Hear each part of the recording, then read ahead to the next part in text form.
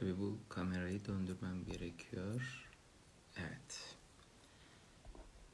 Merhabalar.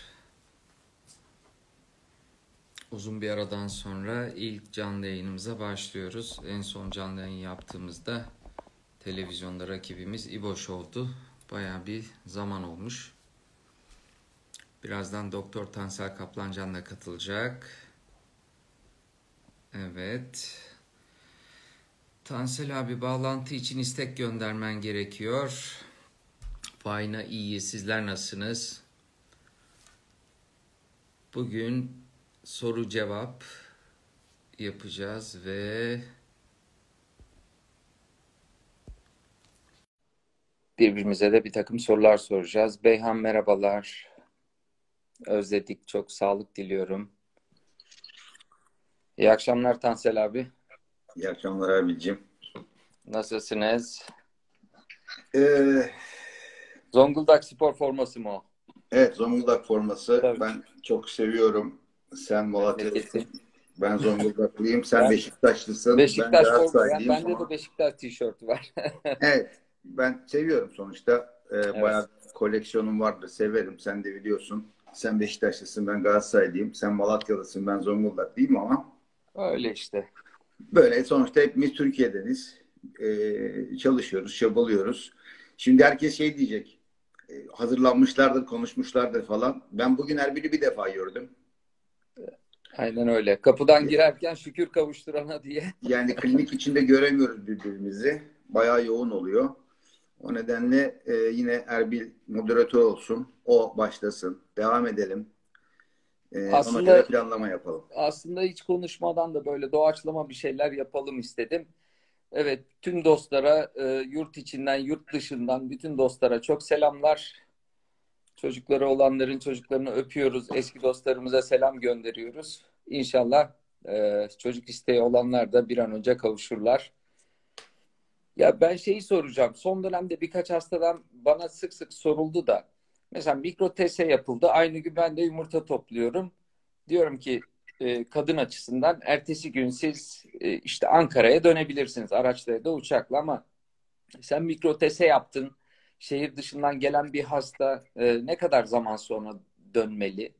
İyileşmesi e, ya da e, cerrahi açıdan ne zaman müsaade ediyorsun buna? O gün için araba kullanmasını istemiyorum. Evet. O gün için yolculuk yapmasa bizim için en iyisi. Hele ki Zaten kendi araba anestezi almış oluyor. O, Ya anestezi alıyor. Bu anestezi olsa da yani bir saati de bir ki iki saati de e, farklı değil. Bizim için anestezi almış olması kimisi 15 dakikada çok etkileniyor. Kimisi 2 saatten çok etkileniyor ama kimse kimseyle aynı değil. Biz genelde anestezi olduğu için e, vermemeyi düşünüyoruz. Yolculuk yapmalarını istemiyoruz. Ertesi gün istediği yere gidebilirler. Ama aynı gün gideceklerse başkası kullanıyorsa arabayı Hı. seyahatlerine izin veriyoruz. Yine bugün yaptığım ameliyat mesela başkası e, yakını tarafından arabayla gidecekti. Belki şu an yoldadır. Selam olsun ona. Şansı bol olsun. bugün, Ee, inşallah güzel bir bugünkü- gündü. Yani sonuçta e, anestezi alan hastaya genelde izin vermiyoruz. E, o gün için. E, ertesi günden sonra serbest sorun olmaz. Ya e, kaç günde ayağa kalkar diyorlar mikrotese. Genellikle e, bizi öğleden sonra klinikte ziyaret edip e, koltuğa oturarak e, görüşmemizi yapıyoruz. Yani e, o hastamızın sorusunda ben senin hastalarını postop görmüş olarak e, cevaplandırayım. Aynı gün gidebiliyorlar. Yürüyerek gidiyorlar. Yemeklerini yiyorlar. Herhangi bir sorunları olmuyor. O yüzden e, yürümelerinde, gezmelerinde bir sorun yok ama kişiden kişiye, mesleğe göre değişiyor. Bazı hasta 10 günlük istirahatini istiyor. Kimisi 5 gün istirahat ediyor. Kimisi ertesi gün işe başlıyor. O tamamen vücuttaki dayanıklılığa, ağrı eşiğine göre değişen durumlar. O yüzden Peki va- varikosel ameliyatı, varikosel ameliyatında bir gece hastanede kalmayı e, tercih ediyorsun. Hastanede kalmasını tercih ediyorsun bildiğim kadarıyla.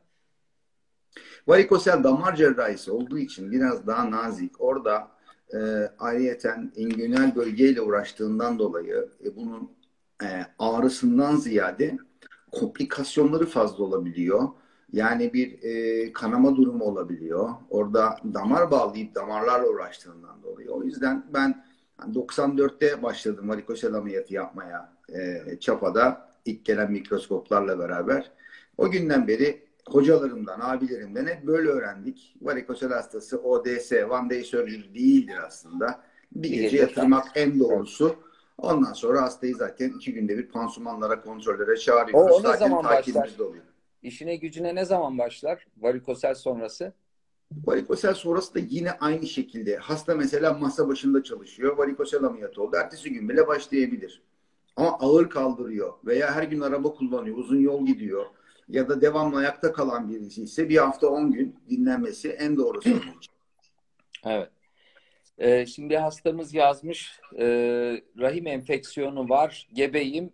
Daha evvel de düşük yaptım. E, büyük gebelik kaybı. 18-20 haftalık gebelik kaybı. Sanırım bana özelden de yazmıştı. E, hali hazırda ne yapabiliriz? Enfeksiyonlar erken doğumu tetikleyebiliyor. Kesenin erken açılmasına sebebiyet verebiliyor. Bu yüzden e, bu durumdaki hastalara belli haftalarda e, kombine antibiyotik tedavisi vermekte fayda var. Bir de e, rahim ağzı uzunluğunu e, dikkatli takip edip gerek görülürse ve ağrısı yoksa hastanın e, bir oraya dikiş koymakta fayda var. E, şimdi şey soracağım yine son dönemde e, bugün hatta bugün mü dün mü seninle konuştuk. E, tıkanıklığa bağlı e, azospermi e, bu aslında iyi prognozlu e, çoğu zaman sperm bulduğumuz, sperm bulacağımızı bildiğimiz bir e, durum oluyor. Bunun bazı türlerinde bazı genetik hastalıkları araştırıyoruz. Bunun hakkında biraz konuşur muyuz? Özellikle e, tıkanıklık değil de sperm yollarının yokluğundan dolayı yani doğuştan yokluğundan dolayı biz ona konjenital vazogenezi diyoruz. O tek taraflı olabiliyor, çift taraflı olabiliyor. Bu bu tür hastalarda e, e, kistik fibroz denen bir akciğer hastalığının yoğunlaşmış haliyle beraber olan bir genetik rahatsızlık aslında. Böyle olduğu zaman e, doğumdan sonra da eğer çocuk olursa doğumdan sonra da çocuklarda da ciddi akciğer sorunlarıyla ölümlere kadar, kadar giden durumlar olabiliyor. O nedenle vazogenezisi varsa e, doğumsal bu sperm yollarının yokluğu yok ise onu biz keşfettiğimiz anki zaten basit bir muayenede onu bulabiliyoruz. Bazen gerçekten bulunamayabilecek kadar e, çok böyle ince çizgili hastalar da olabiliyor ama %99 onu muayenede buluyoruz. Bulduğumuz zaman da zaten direkt o testleri istememiz lazım. Ama mesela alttan geçen bir tane yazı vardı pelvik tüberküloz. Eğer o tüberküloz kısmı işte mesela erkekte olduğu zaman obstrüksiyon yapıyor. Obstrüksiyona bağlı dün gelen bir hastam vardı tüberküloz geçirilmiş. Acaba obstrüksiyon mu dedik ama değil ona bağlı tıkanıklık, e, sık infeksiyonlar, prostat iltihapları, cinsel yolla bulaşan hastalıklar ve benzeri hastalıklardan dolayı kaba kulak ve benzer tıkanıklık olabiliyor. Tıkanıklık grubunda genelde o tür genetik hastalıklar aramaya çok gerek yok. Ama hastada böyle vazogenezisi, doğumsal bir kusur var ise hem erkek hem kadında aramak lazım ki eğer bir bebek yapacaksak ve çocuk olacaksa sağlıklı olmasını isteriz. Evet.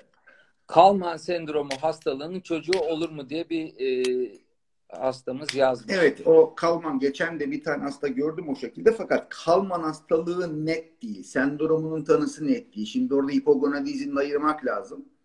Eğer sen hipogonadizmi e, soruyorsan hipogonadizm hipohipolarda zaten doğal yoldan bile çocuğu olan hastamız var.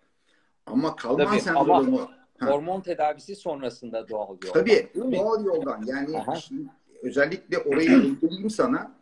Şimdi şöyle bir şey var. Alosperm hastasında işte tedaviyle sperm çıktı. Zaten hasta hipohipo. Zaten hipohipo hasta. Yani beyinden, hipofizden hormon eksikliği olduğundan dolayı bu sorun oluyor. Sen eksiği yerine koyduğunda Türkçeyle hormonları verirsen normal yoldan sperm çıkışı olduğu gibi hatta milyonlarca da 16 milyon 16 milyon sperm çıkışı olup doğal yoldan çocuğu olan hasta mı oldu? Evet. O nedenle hani azoda sperm çıkardık diye bunu bir e, sansasyonelle getirmeye gerek yok. Zaten ha, o grup evet. farklı. O yüzden bu gruba girerse kalman sendromu değil ise bu gruba girerse bu mümkün ama kalman sendromunda ciddi genetik kusurlar var. O yüzden onu iyi ayırmak lazım. Yaparken bir de koku alma bozuluyor değil mi? koku koku alma bozuluyor kalman sendromunda bir de. E, anosmi var yani sonuçta nasıl evet. gündemde şimdi Covid'de de oluyor. Anosmi var. Ciddi bir o e, genetik kusurların yarattığı vücuttaki harabiyetler de var. O nedenle onu çok iyi ayırmak lazım. hipogonadizmle. Sen tüberkülozdan bahsettin. Bir hastamız da kadındaki pelvik tüberkülozu sormuş. İşte onu, onu ee, görmüştüm evet. Heh, onu evet aynen. Ya öncelikle pelvik tüberkülozun tanısını koymak lazım. Eğer e, bazen tüpleri bağladığımız oluyor tüplerde problem olduğu zaman böyle bir şeyden şüphelenirsek operasyon esnasında bir takım tipik görüntüleri var ya da e, operasyon öncesinde çekilen rahim filminde bir takım e, uyarı veren belirtiler var, bulgular var. E, tüplerden biyopsi alıp hem mikrobiyolojiye hem patolojiye göndermekte fayda var tüplerden alınan parçaları. E, eğer e, tüberküloz çıkarsa da ciddi bir tüberküloz tedavisinin görülmesi gerekiyor. Ondan sonrasında e, başarılı olduğumuz tüberküloz hastalarımız var. E, iki hastamdan toplam altı tane bebeğimiz var. Hatta ikizlerden birinin adını Erbil koydular. Bana büyük bir e, şeref bahşettiler.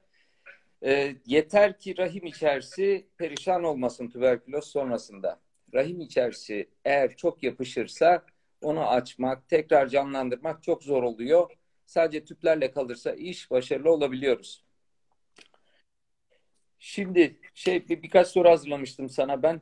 E, Y mikrodelesyonu bakıyoruz. E, sadece azospermide mi bakıyorsunuz yoksa e, çok az spermi olan erkeklerde de bakılıyor mu? Bunun bir önemi var mı? Çok az sperm olan erkeklerde de önemi var. Yani burada şöyle yine örnek vereyim. C delesyonu olup kriptoz olan hastalar var. Bunları sık gördük. Ayrıyeten yine son zamanlarda garip bir şekilde Klinefelter hastalarında sperm çıkışı olan hastalar var. Onlarla beraber tabii ki Y delesyonu yok onlarda ama yani artık hiçbir şeye kesinlikle cümlesini kullanamıyorsun. Evet. Yani e, yani inanılmaz bir şekilde C delesyonlu hasta iki yerde ayrı yerde yapılmış. iki genetik laboratuvarda. ikisinde de C delesyonu var. Hastanın normal sperm çıkışları var. Ve e, biz de hastaya artık e, EJX yaptık biliyorsun. Hadi sonuçta onun planlamasını yapıyoruz. E, o yüzden Y delesyonu da azospermiden ziyade kriptozo grubunda da artık yapmaya başlıyoruz. Yapmamız lazım. Onları incelememiz lazım. Ama normalde e, hastanın kriptozosu var. E, tüp bebek denemesini yaptık. Beşinci gün embriyosu yaptık ve veya transfer yapıldı tuttu. Yani artık orada so sorun yoksa çok da üzerine gitmeye gerek yok. Peki bu hastalarda hala hazırda sperm çıkışı varken varsa eğer sperm donduralım adam bekarsa bile bir Hı-hı. şekilde e, denk geldi ve e, rastladık. Onlarda sperm donduralım. Gelecekte azospermi olma olasılıkları var mı bu e, erkeklerin? Y mikrodolesyonu varsa ya da Klinefelter sendromu varsa. Tabii ki olabilir. Yani sonuçta onları dondurmak lazım. Zaten bu başımızdan çok sık geçiyor. Yani kriptoz olan hastalarda sen 6 ay sonrasının ne olacağını bilmiyorsun veya bir sene sonrasını. O yüzden ben hastalarımla zaten çok sık konuşuyorum. Sen de biliyorsun. E, o dondurma yani şey, mesaj mesaj da verelim. Yani o, o, Tabii, o şekilde varsa dondurmak yani, lazım anlamında e, aslında siz sana sperm testi, veriyorum. Siz sperm testi yaptırdınız. 3 tane 5 tane sperm var. Aman bunlar çoğalacak diye 6 ay, 1 yıl tedaviyle tabii ki uğraşın ama arada da dondur çünkü bunlar sıfırda çıkabilir ilerleyen zamanla. O yüzden hani elinizdekini de kaybetmeyin. Bu şekilde bizim çok takip ettiğimiz kriptoza var. Ama şu da var. Çok defa o spermlerle deneme yapmışsın ve denemelere rağmen A hastanesi, B kliniği, C tüp bebek merkezi farklı farklı yerlerde o spermlerle deneme olup da eğer biz iyi embriyo yapamadıysak ve veya transfer sonrası tutturamadıysak embriyo gelişimi iyi olmadı veya düşük abortusla sonuçlandıysa, olumsuz olduysa o zaman dönüp bu spermlerin ziyade bir mikrotese ile testisten sperm alalım evet. mıydı da konuşmak lazım. Yani tek oraya saplanmamak lazım. Ha tuttu, hasta hamile kaldı, eşi doğurdu. Tamam sorun yok. Ama öteki türlü olmayanlarda da inatla 10 defa, 15 defa o spermden ben yaptıracağım diye üstüne gitmek yanlış olur. Biliyorsun çok vakamız oldu seninle. E, 11 denemeliye 12'de yaptık, 7 denemeliye 8'de yaptık ama sonuçta hani e, üstüne gitmek lazım bunların ama o çizgiyi de ayırmak lazım. Hani kaçtan sonra böyle yapalım? 3, 4, 5'ten sonra artık mutlaka o tarafa eğilmek lazım. Yani ısrarla 7, 8, 9 yapmanın bir esprisi yok. O spermler olmuyorsa o zaman dahilini bulmak zorundayız. Bir de e, son dönemde üst üste geldiği için bir e, hatırlatma belki de bir uyarıda bulunmakta fayda var. pek çok nedenle kemoterapiler, e, radyoterapiler görülebiliyor. E, ve sonrasında e, ya erkekler spermleri çok e, parametreleri çok düşük olarak ya da azospermik olarak bize başvurabiliyorlar değil mi? Her, her erkek değil ama e, önemli bir kısmı. Bu tür e, operasyonlar ya da e, tedaviler görecek erkeklerin ya da ailelerinin çocuk bile olsa ergen çocuk bile olsalar ergenliğe girdikten sonra bir sperm dondurmayı hızlıca düşünüp e, akıl etmekte fayda var diye düşünüyorum. Yani e, bu haftalarda bu ay içinde falan çok başımızdan geçti bunlar. Özellikle ben doktor arkadaşlarımıza da sesleniyorum. E, duyarlarsa ne mutlu olur bize.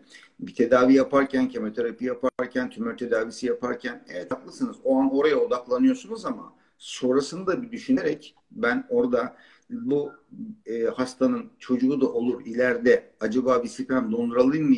Bir saat, iki saat ona hiçbir kaybı olmayacaktır. Örnek verip bunu dondurmak tamamen insani ve aslında bizim doktor olarak da görevimiz bunu söylemek. Hastaları da uyaralım ki böyle bir şey kimsenin başının başından gitmesini istemeyiz. Ama böyle bir şey olduğu anda e, lütfen dikkat etsinler. Akrabaların, eşlerine, dostlarına kim varsa böyle bir sperm dondurma aklından geçirsinler ve bunu uyarsınlar. Özellikle söyleyelim onu. Evet.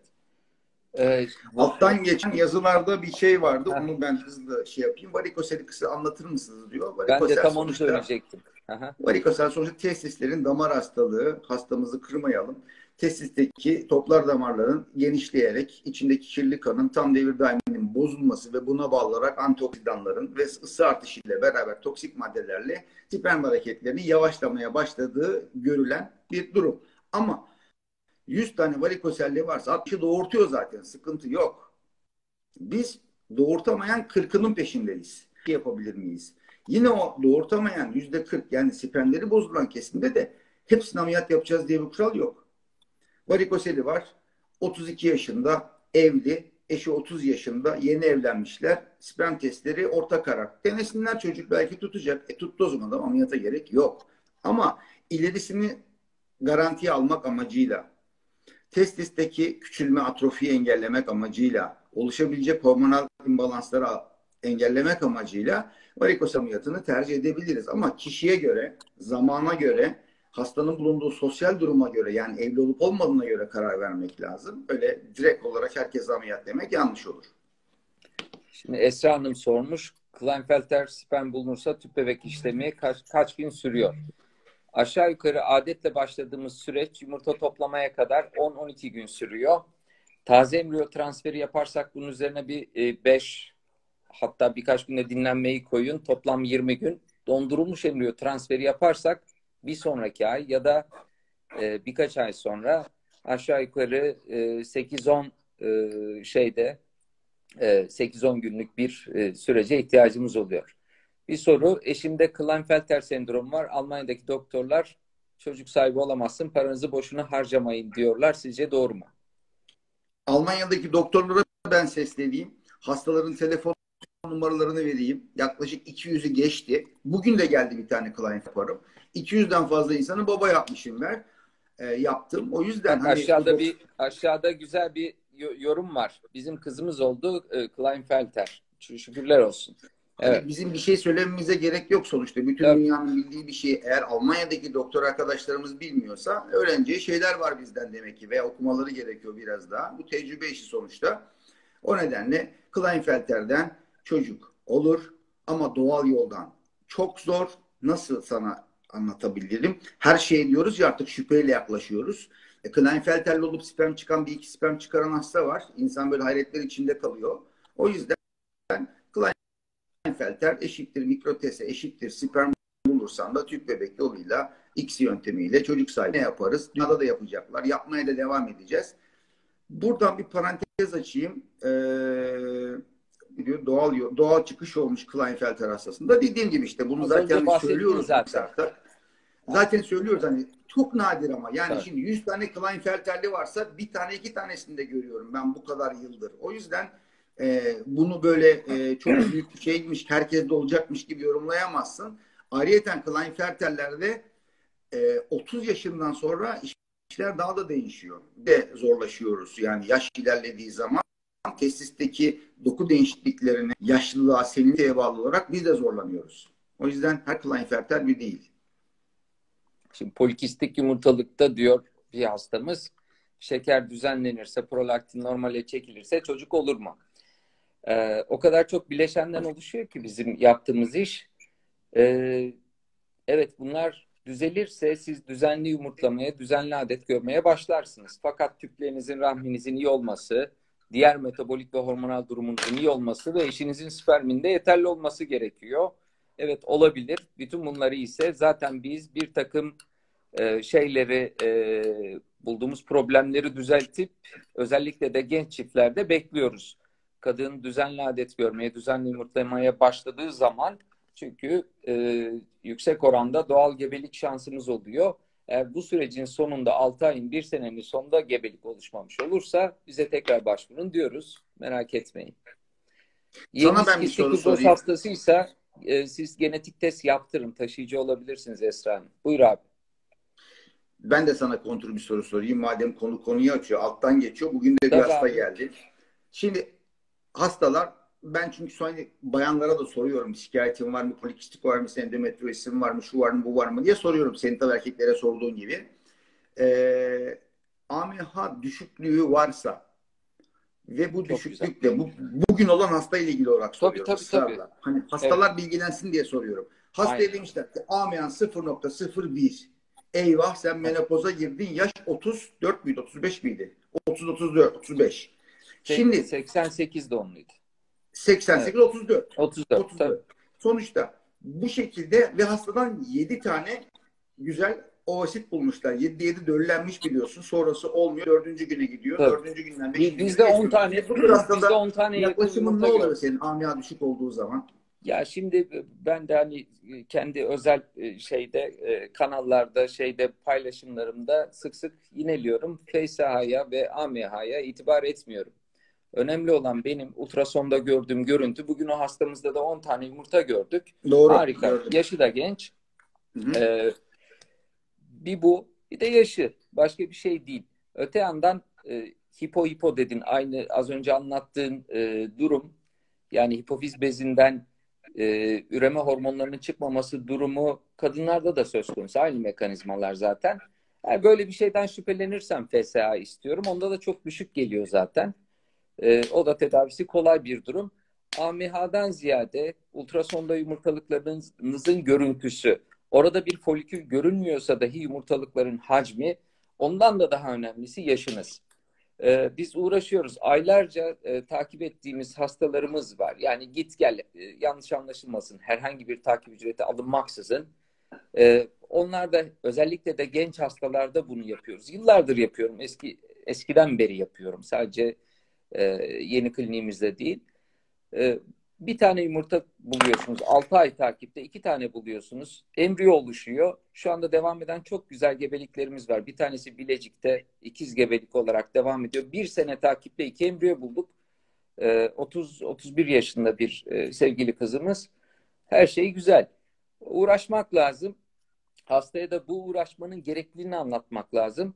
Sonunun ne olacağına dair kesin ümitler vermemek lazım. Bazen uğraşmak gereklidir Sonrasında başarısız olsam bile e, insan bir şekilde tatmin olur. Ondan sonra oturacaksa, tedaviyi bırakacaksa ondan sonra bırakır. Bizim izlediğimiz yol bu. AMH değerlendirilmesi çok zor bir test. Teknik olarak da teknik yanlışlıklar da olabiliyor. E, ancak ben itibar etmiyorum. Ee, ben de sana e, bununla beraber bir çıkarım söyleyeyim. Nasıl sen AMA'ya çok itibar etmiyorsan aslında ediyorsun ama yorumlayarak ona yorum yapıyorsun. Öyle. Bugün de yine ben e, yayından evet Instagram'da hastalarla yazışırken soru cevap şeklinde FSH değerini hasta sordu ve testisin çok küçük çocuk olmaz dermiş. Şimdi bakın testis çok küçük çocuk olmaz eğer bu cümleyi kullanacaksak bir doktor olarak zeytin çekirdeği kadar testisten daha ileri gideyim. Kabak çekirdeği kadar tesisten bir çocuk yaptık. E şimdi kabak çekirdeği kadar tesisten çocuk yapıyorsa adı da kuzeyse unutmuyorsun beraber hatırlıyorsun. Tabii tabii. E, tabii, tabii. E, sonuçta ceviz kadar tesisten de sperm bulamadığımız oluyor. O yüzden FSH ve testis boyutları da bu işte direkt ilgili değil. FSH'da mesela 81'dir Türkiye rekoru. O benim yani sonuçta. 81 FSH'dan ben sperm buldum. Sonuçta normal 4 FSH'dan da sperm bulamadığımız oluyor. O yüzden kesikirler değil ama değerlendirmeye alıyoruz. Bizim de 120 FSH ile bebeğimiz var. Ee, senede iki tane yumurta üreten bir hastamızdan. Dolayısıyla e, yaşınız gençse e, bunları bir kenara bırakıp uğraşmak gerekiyor. E, en azından kadınlar açısından. Nur Banu Can'ın bir sorusu var. Merhaba hocam benim rahimim alınmış ve bir tane yumurta kalmış. iki tane kist olmuş. Çikolata kisti var. Kist olmuş 10 santim olmuş. Sen bunu bir yorum yapar mısın? Rahim mi alınmış? Merhaba hocam benim rahimim alınmış ve bir tane yumurtalık kalmış herhalde iki tane kist oluşmuş ve bu e, biri çikolata kisti ve over kisti oluşmuş. 10 santim olmuşlar. Ne yapabilirim? Ameliyat önerliyorlar. Ne yaparım? Yani rahminiz alınmışsa e, taşıyıcı annelik Türkiye'de yasal değil. E, 10 santimlik bir çikolata kisti de e, ameliyatı hak eden bir durum. Ameliyat tabi görmeden bir şey söylenmez ama ameliyat seçenekler arasındadır demek doğru. Evet. Bir tane altta, bir tane altta var. DNA hasarını sormuşlar. Ee, iki tüp bebek embriyo gelişimi durdu. Üçüncü gün eşimin morfoloji ve hareket problemi oldu ve var sayı iyi fakat iyi DNA hasarı yaptırmak gerekir mi? Sizce yumurta az oluşuyor. 4-5 tane ne yapmalı? Beraber cevaplayalım. Şöyle ben kendi açımdan cevaplayayım. Şimdi eğer embriyo gelişiminde üçüncü günden beşinci güne gitmede bir sorun varsa ve veya sonrasında tutmada e, ve iki, ikinci ay, üçüncü ay düşükleri oluyorsa o zaman bu mükerrer defa olduysa hele farklı merkezde de olduysa artık DNA yapmak zorundayız. Kadının da genetik incelemelerini yapmak zorundayız. Çünkü böyle DNA hasarı bozuk hastalarda ciddi bir şekilde bu sorunların olduğunu gördük. E, morfoloji düzeltilebiliyor. DNA hasarı da düzeltilebiliyor. Diyetle, sporla, egzersizle, kilo vermeyle, toksik madde azaltmayla bir dünya tedavi yöntemi var. E, ama e, yumurtaya bağlı olursa bu e, sorunlar o zaman ne yapabiliriz Erbil? Şimdi e, döllenmenin de iyi embriyo gelişiminin de sırrı iyi sperm ve yumurta elde etmeye çalışmak. Bizim hastalarımız bilirler bazen şakayla da e, bize e, espri yaparlar. Hocam kaç ay oldu daha başlamadık. Ama siz daha önce dört sefer merhaba deyip başlamışsınız. E, bırakın da bu sefer bizim bildiğimiz gibi yapalım şeklinde cevap veriyorum. Çünkü senin de benim de eğer ciddi sperm ya da yumurta sorunu olan hastalar varsa en az 3 aya ihtiyacımız var. E, bunu anlatmaya çalışıyorum. Bundan sonra o embriyoloji e, embriyoların gelişim e, formunu çok iyi okumak lazım. Az önce bahsettiğin gibi e, işte ikinci, üçüncü güne kadar güzel. Ondan sonra embriyolar kötüleşmeye başlamış. Bunlar çok uyarıcı şeyler. Yani bir sefer bile bunu görseniz bir şeylerden şüphelenmek lazım. Spermle ilgili sana işte büyük bir şansım var. Odalarımız yan yana. Geliyorum hastayla birlikte geliyorum. Dosyayı böyle böyle üçüncü günden sonra böyle bunları yapmış olduğumuz halde bu spermin daha iyileşmeye ihtiyacı var. Orada da sen detaylı tetkikler istiyorsun. Varikoseli var mı? Sperm DNA hasar nasıl istiyorsun? Bizde de yumurtayla ilgili bütün metabolik yani genel şeyimiz şu sende de aynı. Genel sağlık durumuna iyi gelen her şey üreme sağlığına da iyi geliyor. Birinci şey kiloyu düzelteceksin, şekeri, tiroidi, ıvırı zıvırı düzelteceksin, kötü alışkanlıkları bıraktıracaksın. Onun dışında bizim uygu yani sen spermi ameliyatla aldığında ya da ejekülatla erkek verdiği zaman son halini almış olarak çıkıyor. Oysa tüp bebek tedavilerinde o yumurtalar bizim elimizde şekilleniyor. Yani bizim uyguladığımız protokoller, e, kullandığımız ilaçlar, dozlar, nasıl çatlatma iğnesi yaptığımız vesaire vesaire o yumurtaların kalitesini ve hatta genetiğini etkiliyor. E, burada burada biraz daha özenli davranmaya çalışıyoruz. İşte bunda tecrübenin, bilginin de e, kıymeti var aldığımız yumurtalar ve spermler iyi olursa iyi embriyo oluyor. Ondan sonra tekrar kadına dönüyoruz. Rahim iyi mi, tüpler iyi mi, enfeksiyon var mı, metabolizması nasıl, bağışıklığı nasıl, pıhtılaşması nasıl? Ee, uzun bir süreç, çok fazla faktör var ve ondan sonra e, çoğunlukla da başarılı oluyoruz. Başarılı olamadığımız hastalarımız var ama canla başla uğraşıyoruz. Onlarda da başarmaya. Gülşah Hanım alttan geçmiş. Hocam iki aşılama bir tüp bebek başarısızlık oldu. Şu anda ne yapacağımızı bilemiyoruz. Yol gösterir misiniz demiş. Ya e, ben bazı detaylı incelemeleri bir tüp bebek başarısızlığından sonra yapıyorum. Hele de güzel embriyolar verilmiş genç bir hastaysa, genç bir çiftse. Örneğin kromozom analizleri, e, şekerle ilgili, tiroidle ilgili derinlemesine testler, e, erkekle ilgili işte o embriyo formunu doğru okumak derken onu söylüyorum. Neye bağlı başarısızlık oldu? Daha çok yumurta sorunu mu vardı, sperm sorunu mu vardı? Üstelik bu baştan bilinen sorunlardan bahsetmemek lazım. Baştan her şey güzel gittiği halde sahada o laboratuvarda esas kaliteyi belli ediyor yumurta ve sperm. Orada bir şey var mıydı? Bunları değerlendirdikten sonra e, o çifte özel bir yol izlemek gerekiyor ama yani çok böyle e, yaşları da gençse çok depresyona girmesinler. Yapılacak şeyler muhakkak vardır.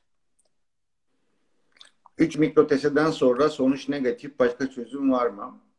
Yani artık e, yine ben şey yapayım 7250'yi geçti. Ben sayıyorum zaten mikroteseleri. Hafta hafta yazıyorum onları. Bugün yaptığım hasta 3. ameliyatını İzmir'de olmuş. Hocamız yapmış profesör. Olmaz demiş, yok demiş. Bugün ben ilk örnekte dört tane ve daha sonra da çoğalarak spermleri bulduk.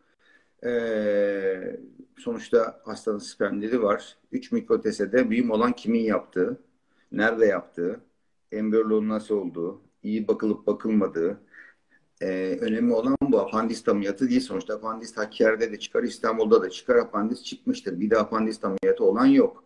O nedenle e, bu mikrotesenin daha nazik, daha tecrübeli, iyi mikroskopla, bak bu çok önemli, iyi mikroskopla yapılmış olması lazım. Sonuçta kulak burun muacilerin kullandığı mikroskop da var. Bizim mikroskopumuz farklı.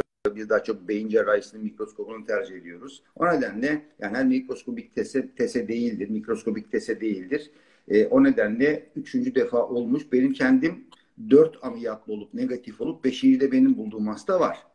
Beş ameliyatlı olup altıncıyı ben yapacağım. Ben yapmadım beş tanesini. Öyle bir hastam var takipte. Bakalım onda ne olacak onu da merak ediyorum ama üç defa negatif olup da dördüncü defa bulduğum benim hastalar çok bugün de bir örneği oldu zaten. Ee, Yavaş hareketli spermle diyor. Yavaş hareketli spermle tüp bebekte gebe kalır mıyız? Şimdi ben ben burada topa gireyim. Hep sperm sorusunu e, Tansel abi cevaplamasın. Şimdi geldi bir hastamız. Bir takım sperm sorunları var. Hiç tüp bebek yapılmamış. Bizim yaklaşımımız şu oluyor. Ya bizim spermimizin son maksimum durumu bu mu? Yoksa biz bunda bir iyileşme kaydedebilir miyiz? Ya da neden böyle? Şimdi neden böyle bütün sebep bulduğumuzda da müdahale etmiyoruz. Birazdan Tansel abi daha detaylı e, girer.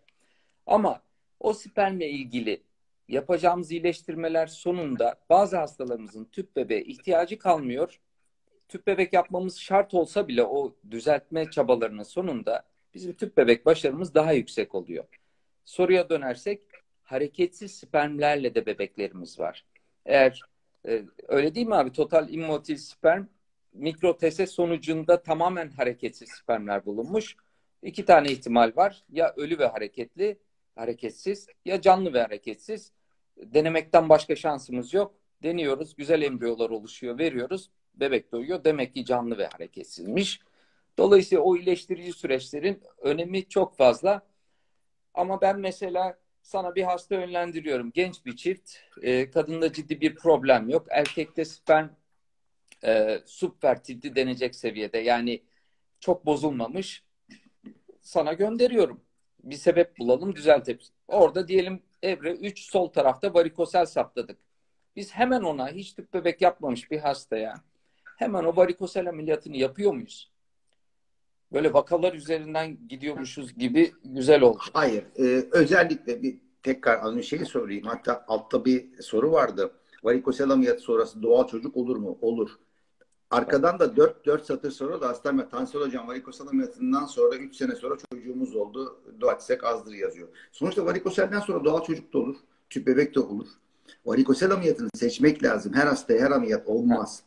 Yani sonuçta 42 yaşında, 43 yaşında menopoza gelmekte olan yumurta rezervi azalmış, AMH'sı düşmüş, e, başka ek sorunları olan bir hastaya da illa varikosel ameliyatı yapacağım ben senin eşine 6 ay, 9 ay, 1 yıl bekle ondan sonra doğal yolu zorlayacağız demek yanlış. O yüzden orada kararı vermek gerekiyor. O yüzden kişiye özel, hastaya özel, sosyal, aileye özel kararlar vermek lazım.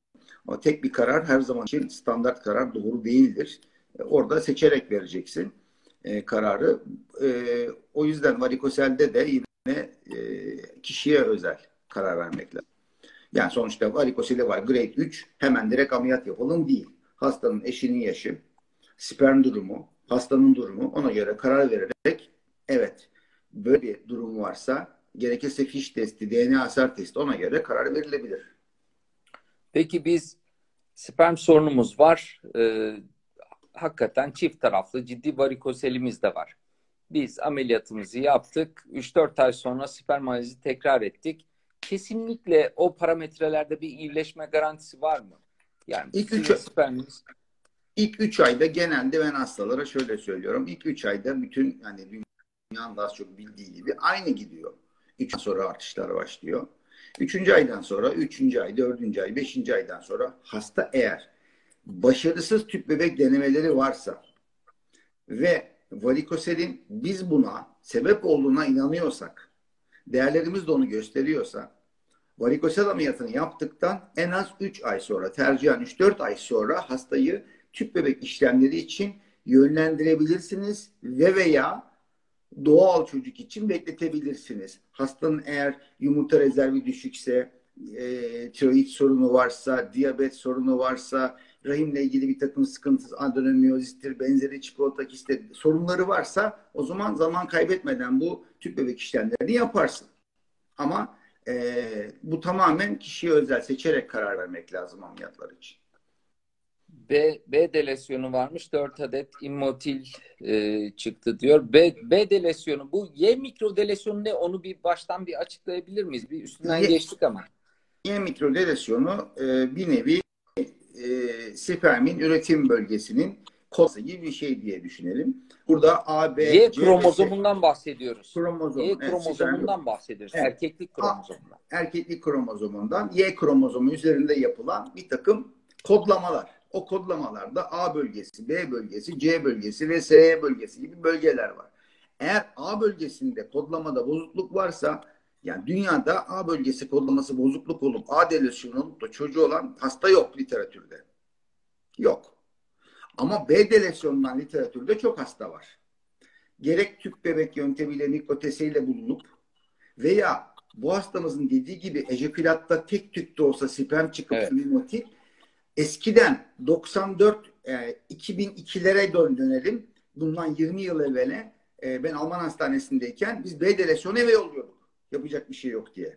Ama şu son 20 yılda çok gelişti ortam ve ona bağlı olarak daha çok didiklemeler, daha çok incelemeler başladığı için yine B delesyonu biz şu an çok çok düşük şansınız ama mümkün diyoruz. C delesyonda ise %35 şansımız var. En güçlü grup. Oradan e, mikrotesinde de sperm bulma şansımız %35. C delesyonlu dışarıya sperm atan hastalarımız da bayağı bir fazla oluyor. Sonuçta onları kullanarak tüp bebeği yaparsınız. Olmadı. Mikroskop, mikroteseyle testin içinden sperm bularak bu işi yapabilirsiniz. O nedenle delasyon grubunu değerlendirirken hangi grup, hangi seviyede lesyon ve ona bağlı e, yorum yapma şansımız var. Ama 20 yılda çok şey değişti. Ee, bu bir hastamız sormuştu.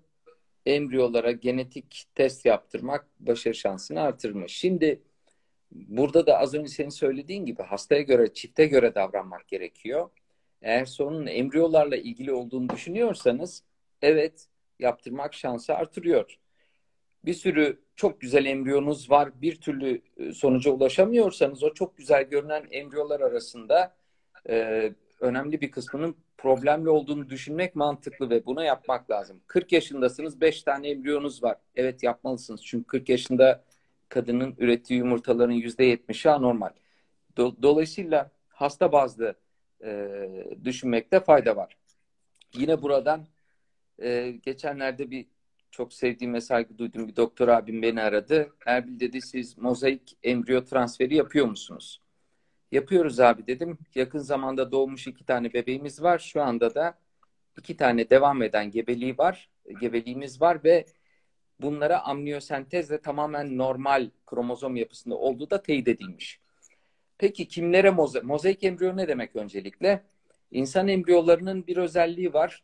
Bir kısmı sağlıklı ve sağlıksız hücrelerin karışımından oluşuyor. Fakat bu oranlara göre bu embriyonun büyüdükçe ne tarafa gideceği e, değişiyor. Dolayısıyla az sayıda anormal hücre üreten, e, içeren bir embriyo geliştikçe bu hücreleri atıp ya da bu hücrelerin büyümesi durup tamamen sağlıklı bir embriyoya dönüşebiliyor. Ya da yüzde sekseni anormal hücrelerden oluşuyorsa embriyonun e, o embriyonun kötü yönde gideceğini, yüzde yirminin bu işi başaramayacağını düşünmek mantıklı olur. Biz embriyolardan hücre alırken neresi sağlıklı, nerede karışım vardır, neresi sadece saf e, sağlıklı hücreleri, problemli hücreleri içeri bilmediğimiz için 5-6 tane hücre alıyoruz. Sonuç şöyle diyor bize. Diyor ki aldığınız atıyorum 6 tane hücre aldıysak bunun iki tanesinin kromozomlarında şu hata vardır, dört tanesi normaldir. İşte bu embriyoların bir kısmı sağlıklı bebek doğumuyla sonuçlanıyor. Neye göre seçiyoruz? Ben kendi açımdan konuşayım. Bir, o hastada tamamen sağlıklı embriyo bulma olasılığım çok zayıfsa ya da hastam artık bıkmış denemekten son demlere gelmiş maddi manevi fiziksel olarak yıpranmış tekrar denemeyecek. Birinci kural bu. Sağlıklı embriyo bulma şansım çok düşük. İkincisi mozaikliğin yaşandığı kromozomlar 13, 18, 21 ve cinsiyet kromozomları haricinde kromozomlar olmalı. Çünkü bunlardan çok fazla gol yenebilir. 3. Mümkünse trizomiler değil. Yani iki yerine 3 olması değil de iki yerine 1 olması. Monozomileri tercih etmek lazım ve düşük oranları tercih etmek lazım e, mozaik embriyo transferiyle bütün dünyada olduğu gibi bizim de bebeklerimiz var. E, bu kriterlere uymak önemli ama bir tane mozaik embriyo bulduk. Çiftin e, ilk denemesi bir şekilde e, genetik işlem yapılması gereken bir çift. E, benim yaklaşımım bu dursun ben tam, tam sağlıklı embriyo e, arayacağım şeklinde oluyor. Bunu da bilmekte fayda var. Buradan Zuhal Hanım'a söyleyelim. E, cevap vereceğiz. O konu hakkında bilgi vereceğiz. Diğer bir şey de Kader e, TP Otalı yazmış. Eşimin temennizi yapıldı. Her şeyi sıfırçı test sonuç alamadık. Genetik testler temiz. Varikosel de yok. E, testleri direkt mesajla bana yollayın. E, ben o kaderle ilgili soruyu çözmeye çalışayım. E, eksik bir yer var mı ona bakalım. 47xx'e e, çocuk sahibi olabilir mi? Kleinfelter'den dediğim gibi 200'den fazla e, baba yaptığımız hasta var. Sıkıntı yok olabiliyor. Yeter ki doğru zamanda doğru işi yapalım. Eşim kemoterapi aldı, spermleri azaldı. Şu an 3-4 tane de olsa canlı sperm var. Zaman geçtikçe artar mı? İşte kastettiğim buydu. Zaman geçtikçe artar mı değil. Onları mutlaka muhafaza edin, dondurun. Bir dondurma, iki dondurma, beş dondurma, on dondurma. İlerleyen zamanla onları da kaybedebilirsiniz. Hemen parantez diğer tarafa gideyim. Covid'de ciddi sperm azalması var. Allah şükür başımızdan bu e, eksiliyor bu bela ama e, Covid geçiren hastalarda ciddi sperm azlığı gördük testlerde. Yani şöyle örnek vereyim 16 milyonun sıfır olduğunu gördük. O yüzden e, bu kadar e, ciddi sorun yaratan ama daha sonra düzeliyor. Ama düzeliyor da ne kadar zamanda düzeliyor bilmiyorsunuz. Siz şimdi bu kadar isli gruptaysanız 3-4 tane sperminiz varsa kemoterapi spermlerinizi dondurun. Onlarla bir de tüp bebek denemesine girişin. Hiç bunu e, şey yapmayın, ertelemeyin. E, başka Erbil senin görebildiğin hızlı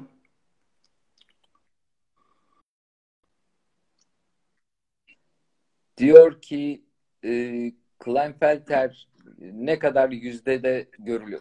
Azospermlerin ne kadarı Klinefelter sendromu? Yüzdesi var mı? Öyle bir... Ya yüzde olarak Klinefelter'in görülmesi zaten 10 binde bir, 15 binde bir ama evet. direkt olarak e, görülme yüzdesi siz yüzde olarak vurduğunuz zaman Hani ben kendi adıma söyleyeyim. Bizim kliniğe gelenler bayağı bir yüzdesi fazla. Çünkü yani neredeyse her gün bir tane Klinefelter görüyorum. Ama adı süpermilerin genelde yüzde, iki, yüzde ikisi, yüzde ikisini diyebilirsin. Yüzde bir ikisini diyebilirsin. Daha evet. yüksek diyemezsin. Ama sonuçta Klinefelter e, taradıkça bulunan bir taradıkça bulunan hastalık olduğu için çoğu hastanın genetiği yapılmadığı için belki de Klinefelter ama onu pas geçiyorlar. Onu da bilmiyorsun. Daha sonra da hasta kendi kabuğuna çekiliyor. Olmadı bu iş deyip bırakabiliyor. O yüzden çok da onu görmemiş olabiliyorsun. Ee, bir tane bugün için e, biraz e, şunu söyleyeyim. Yayına bağlanmadan evvel bir hasta yazdı Bosna'dan. Ameliyat olmuş. E, mikrotest ameliyatı olmuş. Aduspermi. Şimdi yayından sonra cevap vereceğim hastaya. Ameliyatı yapan jinekolog. 20 sene önce, önce de öyle yaparlardı. Daha önce başımızdan evet. geçti. Yine e, jinekolog bir doktor hocamızın e, yaptığı ameliyattan sonra bulamamıştı spermi. E, biz, biz bulduk. Biz bulduk. Sonuçta şunu söylüyorum. Ben miyom ameliyatı yapmıyorum. Ben endometriozis tedavi etmiyorum. Ben sezeryan seksiyon doğum yapmıyorum. Benim işim değil, ehliyetim yok. O zaman lütfen hani Erbil'in nezdinde de jinekologlara söyleyelim. Yani siz de yapmayın mikrotese. Yapıyoruz diye ortaya çıkıyorsunuz ama yaptığınız zaman da yaptığınızın olmadığı ortaya çıkıyor. Sonuçta biz ben şundan zaman... korkarım abi. Şundan korkarım. Sperm bulmak ya da bulmamaktan ziyade zarar görebilir. Bunu, bunu biz öğrenmedik, eğitimini almadık. Yani orada işte bir arteri zarar kesersin, atrofiye gider. Arteri kesersin, atrofiye gider. Ondan sonra daha da kötü olur. O yüzden yani. Bosna'daki hastamıza birazdan yazacağım şimdi cevaplayacağım. Ee, başka neler var? Ee, burada hızlı geçelim oradan. Spermiden sonra sperm çıkışı, e, tedavi sperm çıkışı, sperm çıkışı olabiliyor spermide ilaç tedavisiyle olabiliyor, olmuyor değil ama bu oranlar çok düşük. Yani 100 hastayı alıyorsun, 2-3 tanesinde çıkıyor, 97 tanesi olmayacak. Hani o zaman o işe niye giriyorsun veya niye yıllar boyu bekliyorsun? Ee, tekrar söylüyorum, her azospermi saf azospermi değildir. Kriptozoya da azospermi diyorlar, değil. Ee, Virgil azospermi diyorlar değil. Hipoepoya da süper diyorlar aslında değil. E, sperm çıkabilen hastalar zaten. O yüzden kavram kargaşasından bir kurtulalım. E, hocam AMH 1.63 hormon değerlerim iyi. 5 santim çikolata kistim var. Eşimde sorun yok. Geçen ay çikolata kisti için rayifini çektirdim. Sonucum iyi çıktı. Sizce ne kadar ne kadar denemeliyiz süt bebek için? Ya şöyle 5 santimlik bir çikolata kisti aslında ameliyat indikasyon taşıyor. Öte yandan o kendi kendine rüptürü olabilir, e, torsiyonu olabilir, hasta konforunu bozabilir, ağrı oluşturabilir. Ben uzun yıllardır ameliyat yapmıyorum. E, çok büyük olmadıkça çikolata kistlerini almıyorum. Çünkü zaten çikolata kisti yumurtalığa zarar veren bir şey. Bir de ben ameliyat yaptım mı ne kadar özenerek yaparsak yapalım o da zarar veriyor. Ee, bunun bir ara yolunu buluyorum. Ben onun içini boşaltıyorum. Ciddi antibiyotik baskısı altında yıkayarak e, yüksek konsantrasyonlu alkolle yıkayarak e, onun içini boşaltıyorum. Ve bir e, hormonlarını baskılayıcı iğne yapıyorum. Bu bana bebek yapabilmek için ya da tüp bebek tedavici, tedavisi yapabilmek için birkaç aylık bir süre veriyor. O esnada da çoğunlukla başarılı oluyoruz. E, ilk tercihim o kisti boşa e, almak değil yani. Bir de yumurta kalitesi iyi değilse PRP kök hücre tedavilerini uyguluyor musunuz? Biz, biz yani uygulamıyoruz. Biz uygulamıyoruz. Ee, yararına inanmıyoruz. PRP kök hücre hani hep söylüyorum e, rahim içinde herhangi bir sorun olmadığı halde bir türlü kalınlaşmayan rahimler var. O artık denize düşen yılana sarılır e, vakaları rahim içine birçok şey uygulamak mümkün. Ama enfeksiyon olmayacak, yapışıklık olmayacak, tüpler normal olacak. Buna rağmen kalınlaşmayan rahimlerden bahsediyorum. Uygulanabilir ama yumurtalıklara böyle bir şeyin uygulanmasının PRP ya da kök hücre bir faydası olduğunu düşünmüyorum. E, riskleri olabileceğini düşünüyorum üstelik. Genetikten temiz gelen embriyo neden 12. haftada kalbi durmuş olabilir? Aa, bağışıklık sisteminiz, metabolik sisteminiz, pıhtılaşma sisteminiz, rahimle ilgili tüplerinizdeki enfeksiyonlar, ciddi adenomiyozisler, bütün bunlar buna yol açabilir ve hatta çok ciddi sperm sorunları. Eğer e, çok e, didiklenmemiş bir sperm sorunu ortaya çıkarılmamış ciddi sperm sorunları varsa onlar bile buna sebebiyet verebilir. Çok ciddi araştırması gerekiyor. Şimdi her Şimdi, soruya cevap veremiyoruz tabii. Bir şey yapmamız lazım. Ee, toplayarak bize lazım. Hem toplayarak gitmemiz lazım hem de bize iletsinler sorularını biz muhakkak yanıt Önden veriyoruz. An, arayarak veriyoruz. Yani 200'den fazla arka arkaya soru geliyor. Onları topluyoruz. Hani çoktan bir cevap verdiğimizde hepsine cevap verelim diye. Zuhal Hanım ısrarla Roze hakkında bilgi istiyor. Söyleyeceğiz, bilgi vereceğiz. Ee, 100 bin spermide tüp bebek tutar mı? Bir tane spermle de tutar. Niye olmasın? Evet. Yeter ki e, her yapılan iş doğru olsun. Biraz da şansa ihtiyaç var. Şans faktörü yok değil. Mutlaka onda ihtiyaç var. Hocam kiloluk kişiler tüp bebek yaptırabilir mi? Sana sorayım. Ya e, şöyle ben e, yumurta toplamayı hasta ideal kilosunun üstündeyken yapsam bile embriyo transferine kadar hastalarım bunu çok iyi bilirler. Muhakkak e, ciddi bir kilo verme istiyorum. Çünkü çok ciddi etkiliyor. Hadi gebe kaldı. Gebeliği süresince e, çok fazla sorun yaşatabiliyor. Ve hatta e, eğer şeker bozukluğu da buna ciddi bir şekilde eşlik ediyorsa doğacak çocuğun erişkin hayatındaki sağlığı, e, insülin direnci, tip 2 diyabet riski vesairesi de artıyor. Bu, bu kadar etkileyen bir şey için birkaç aylık bir e, kilo verme e, sürecinin iyi olduğunu düşünüyorum. Bizim diyetisyen e, arkadaşımız Ece Dönmez var. E, infertilite konusunda, infertilite diyetisyenliği konusunda yüksek lisans yaptı. Ece bu süreçleri çok güzel yönetiyor. E, faydasını da görüyoruz. İki embriyo altıncı güne gitti, donduruldu. Bu iyi midir? Ya e, iyidir. Yani altıncı güne gitti ama nasıl gitti? O altıncı gündeki e, görüntü morfolojisi önemli. Öte yandan şeyden çok korkmamak lazım.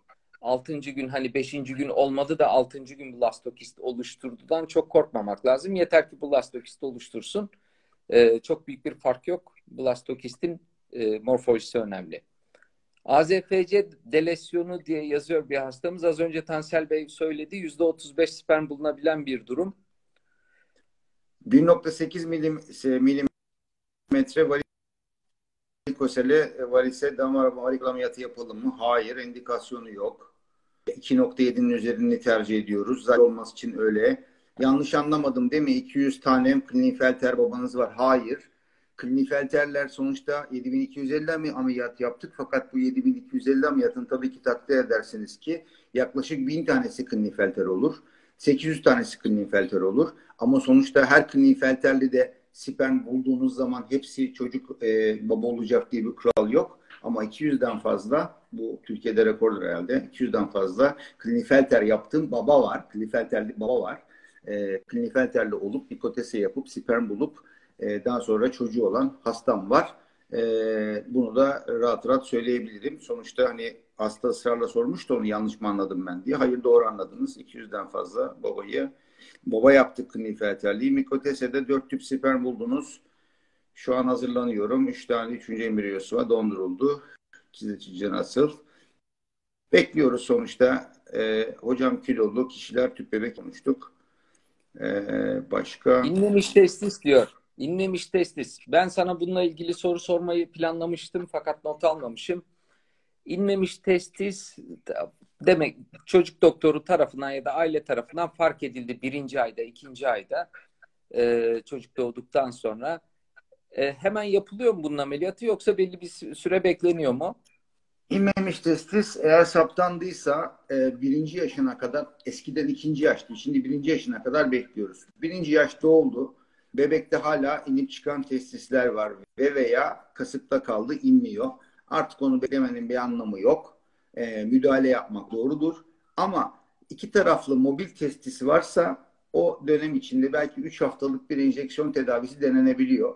O denendiği zaman da bu e, hasta çocuklarda yüzde yetmiş beş aşağıya inişi görüyoruz. Hormon Benim, hormon uygulanıyor değil mi? Hormon hormon, hormon tedavisiyle evet. tedaviyle ECG evet. uygulanıyor. E, yüzde yetmiş beş görüyoruz. Benim de gördüğüm hastalar var. Yapıp da indirdiğim hastalar var.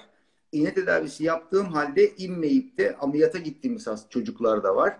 Ama bir yaştır sınır. Bir yaştan sonra artık beklemenin çok bir anlamı yok. Çünkü ileride ciddi sorun yaşanıyor. Bugün gelen iki hasta. İnmemiş testis 7-8 yaşında, inmemiş testis 12 yaşında ameliyatlar olmuş. İkisi azosperm olarak geldi. Şimdi onların planlamalarını yapacağız. Yani her gün değişik şekilde hastaları görmekteyiz. Bir, bir yaşında yapılmış çift taraflı hastamız vardı. Hiçbir sorun yoktu. bir yaşında. Ama bir yaşında ama ama bir yaşında olup da azosperm olan da var. Yani o da kural değil. O da kural değil. Onu da e, görüyoruz bir iki yaşında. Evet. Tüp bebek tedavisinde tekrarlayan düşükler için neler yapılabilir hocam? Ya tekrarlayan düşükler için öncelikle çok ciddi bir geniş araştırma yapmak gerekiyor. Bu araştırmada erkeğin de e, sadece gidip kromozom testi vermesi değil, o spermin çok ciddi araştırılması da gerekiyor. E, çoğunlukla bir ya da birkaç sebep buluyoruz ve bunların üzerine gidiyoruz. Ancak hiçbir sebep bulamasak bile o araştırma sonucunda e, bir takım alacağımız ampirik e, hedefi görmeden atış yapacağımız şeyler var ve bunlar çoğunlukla tutturuyor. Bilmek gerekiyor ki araştırdığımız şeyler işin yüzde otuzluk kısmı, işin yüzde yetmişi e, embriyoların genetiğiyle ilgili, kromozomlarıyla ilgili. Dolayısıyla önce oradan bir sağlıklı embriyo buluyoruz. Sonrasında ama sağlıklı embriyo bulduk, adenomiyozisiniz var. Az önce bir soru vardı. Sağlıklı embriyo bulduk, pıhtılaşma bozukluğunuz var, bağışıklık sistemi bozuk, Hashimoto tiroiditiniz var, şeker hastasınız. Biz e, infertilite hekimiyiz ama e, pek çok hastanın ciddi şeker hastası olduğunu biz ortaya çıkarıyoruz. Bunların hepsi önemli. Tekrarlayan düşükler açısından da gebe kalmak açısından da önemli. Sebebe yönelik tedavi yapmak gerekiyor ama o araştırmanın doğru düzgün yapılması, erkeğin de bu işin içine ciddi katılması çok çok önemli.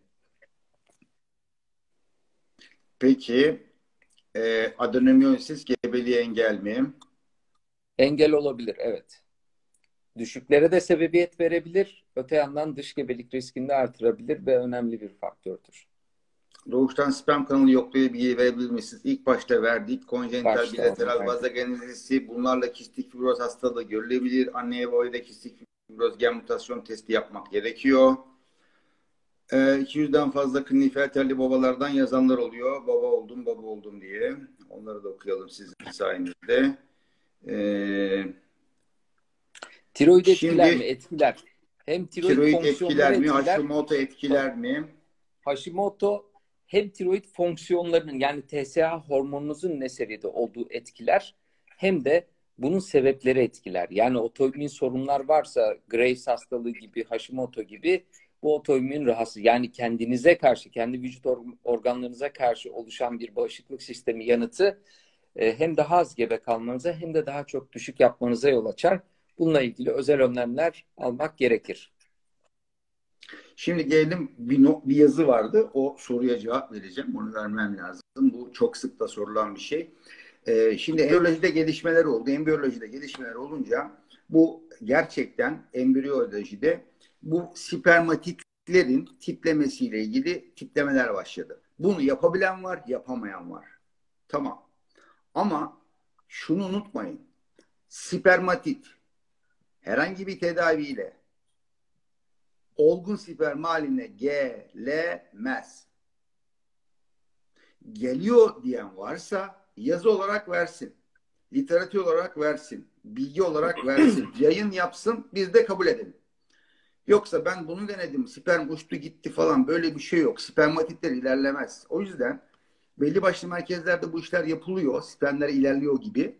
Öyle ilerleme yok. Sonuçta ST4 çıkmış diyor hastamız. ST4 çıkmış olabilir. Zaten baştan da ST4'ün vardı.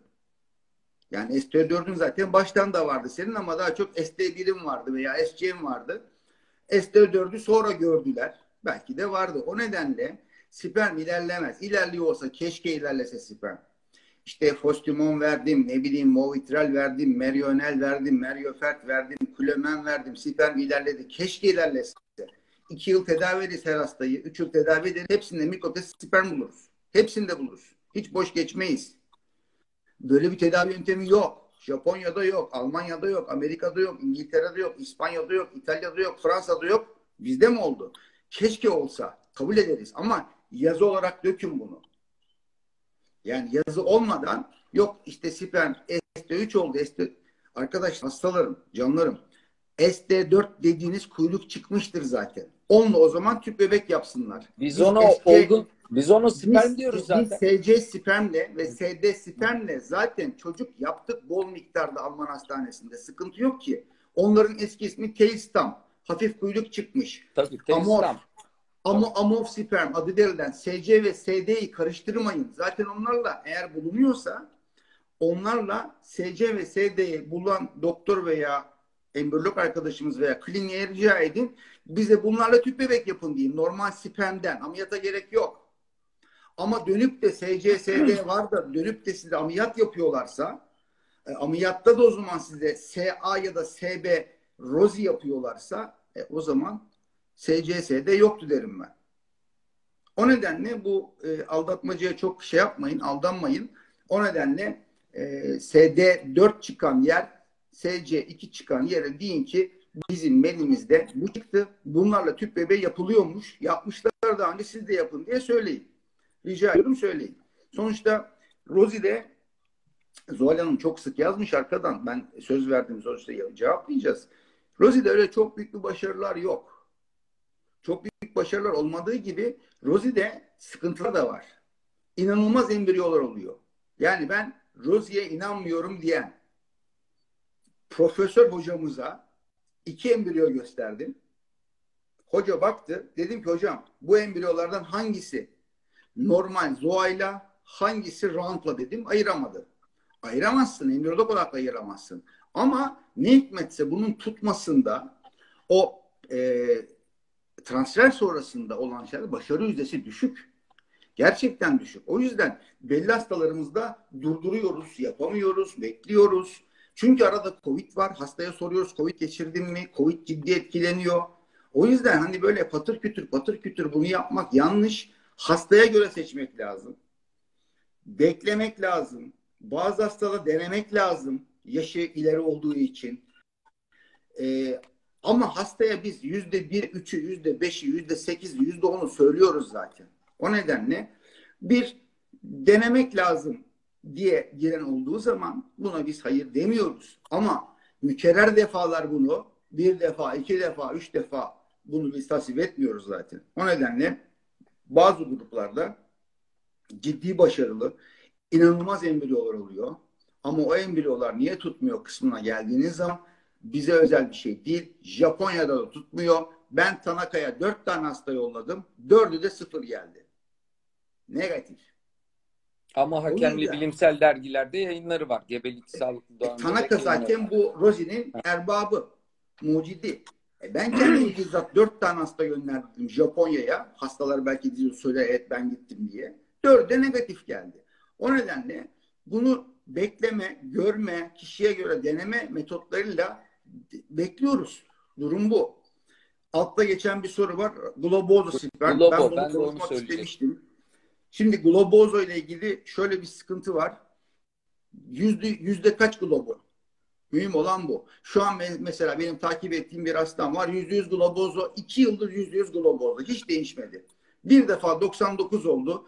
Keşke o 99 olduğunda dondursaydım dedim ama orada da çok güvenemedim. O da belki de yüzde yüzdü. O nedenle o 99'da yüzde yüz globoz olan. Diğer bir hastam var. 97 idi, 80'di, 70'ti falan derken onun şu an güzel embriyolarını yaptık. Sonuçta bir şekilde e, globoz hastalarına neden globozaya bakmak lazım? Bu varikosel kaynaklı mı, spermfiş bozukluğuyla mı, DNA hasarıyla mı kaynaklı, globozaya sen ekstra yöntemlerle bu X yönteminde özel petler kullanacak mısın? Ve benzeri bir dünya bunun e, çeşidi var. Ama globozaya da bir tedavi uygulamak şart. O tedavi yapıldığı zaman globoza spermlerin düzeldiğini ben kendim 2-3 ay içinde gördüğüm hastalardan ki 6 aydır 9 aydır takip ettiğim hastalar var gördüm düzeliyor çok çok e, dramatik yani iyi yönde değişiklikler olan ve bebeğiyle memleketine uğurladığımız bir sene gelip İstanbul'da kalan bebeğiyle uğurladığımız hastalarımız da var. Selam evet. olsun. Şimdi mesela şey yapıyoruz. E, döllenme daha belki döllenmesi riskli olan ya da sperm sorunu olduğundan emin olduğumuz globozom mesela. Bunlarda e, döllenme olasılığını artırmak için bir takım laboratuvar yöntemlerini kullanmaya çalışıyoruz. Örneğin eskiden kalsiyum iyon kullanıyorduk Şimdi piezoelektrik aktivasyonu kullanıyoruz. Bunlardan da biraz bahsedelim. Yavaş yavaş bitirelim. Ee, hastalarımız sorularını bize özel kanaldan e, telefon numaralarını da yazmak suretiyle iletsinler. Hepsini arayacağız. Bu piezo kalsiyum iyon Ee, onlar hakkında biraz konuşalım istersen. Sperme mi uygulanıyor bu? Öncelikle mesela sana bir soru sorayım. Sperme mi uyguluyoruz bu piezo yöntemini, kalsiyumu? Yok, hayır. Sonuçta şimdi şöyle bir şey var. Ee, bizim orada e, önemli olan şey ne kadar güzel, ne kadar iyi, ne kadar motilitesi, şekli iyi olan sperm bulabildiğimizdir. Aslında oraya kadar gelen kısım çok önemli. Oraya kadar yaptığımız hazırlık önemli. Yumurta ve sperm açısından orası Hı. çok doğru. İşte orada sonuçta biz onun hareketlendirmesi için yöntem yapılıyor. Morfolojiyi iyi seçmek için yöntemler yapılıyor ama sonuçta bir şekilde orada e, embriyologlar bizim canımız, ciğerimiz. Onlar bir şekilde o, o güzel e, şeyleri bulmalılar. E, onların sayesinde bunlar oluyor. Bu yönler değişebiliyor. Bir not var unutmayalım onu. Şu kök hücre için bir şey söylememiz lazım. Onu söylemeden kapatmayalım. E, siz mesela e, yumurtalar için e, ekstra şeyler yapıyor musunuz? E, yumurtalar için derken biz yumurtaları kullanmak zorundayız. Yani o çok fazla seçim yok. Yumurtalara test de yapamıyoruz. Yumurtaları e, olgunluk derecesi ve çok uçlarda morfolojik e, durumlar haricinde e, biz seçmeden kullanmak zorundayız. Ama e, bahsettiğim yöntemleri yumurtalara uyguluyoruz. Yani e, şöyle bir izlenim var e, çiftlerde. Bizim sperm sorunumuz var. Demek ki bu kalsiyum sperme uygulanacak. Piezo elektrik aktivasyonu sperme uygulanacak. Hayır. E, aşağı yukarı eşit oranda görev alıyor sperme yumurta döllenmede ve biz bu e, işlemleri yani yumurtayı kalsiyum iyon içeren bir solüsyon içerisine bekletip sonra mikro enjeksiyon yapıyoruz. Ya da yumurtayı e, bir solüsyonun içerisinde özel bir cihazla ve bu cihaz Rossi işleminde de kullanılıyor. Piezo elektrik akımı vererek e, son derece hassas bir şekilde belli bir süre sonra mikro enjeksiyon yapıyoruz. Bütün amaç e, döllenme elektriksel bir uyarı yumurta açısından e, o uyarıyı daha kolayca yaşamasını sağlamak yumurtanın. Dolayısıyla daha sorunlu, daha e, potansiyel düşük spermlerinde onu dölleyebilmesini sağlamak. Bütün amaç bu. E, her zaman yüzde yüz başarılı olduğunu söylemek mümkün değil ama e, bu yöntemlerin iş gördüğünü de düşünüyorum açıkçası. Adenomyosis hastası tanımızı koydunuz. Erbil Hocam ikizlerimi büyütüyorum demiş Tuğçe. Selamlar yollamış sana. Canım. Bye bye. Şimdi buradan şu notu iletelim. Ee, hastalarımıza kök hücre tedavisi kök hücre tedavisi sperm için dünyada denenmiş ama netleşmiş ve kabul görmüş bir tedavi yöntemi değildir. Kök hücre tedavisi şu an Türkiye'de de bazı merkezlerde sperm için uygulandığını iddia etse de çok büyük riskler taşımaktadır. Çünkü bu yöntemin 5 yıllık sonuçları belli değildir. 5 yıllık sonuç belli olmayan bir testi veya bir denemeyi, kök hücre tedavisini yapmak zaten bizim işimiz değil. Daha önce yapıldı mı? Yapıldı. Sonuç ne oldu? Testiste tümör oldu. Testis tümörü oldu. E ben şimdi çocuk için gidiyorum, yumurtamı kaybediyorum. Karnımda kitleler çıkıyor. Belki vefat edeceğim. O yüzden ciddi onan formlarına imza attırıyorlar hastalara. E, böyle bir riskin olduğunu mutlaka biliyor olmaları lazım hastalar. Kök hücre tedavisi bakın Rosi değil spermatik enjeksiyon değil, piezo değil, kök hücre kemik iliğinden, geçiyorsa kemik iliğinden özellikle he, kemik iliği alınan işte hastalar bazen diyor sırttan alıyor, koldan alıyor falan. Bu bu grubu anlatmaya çalışıyorum.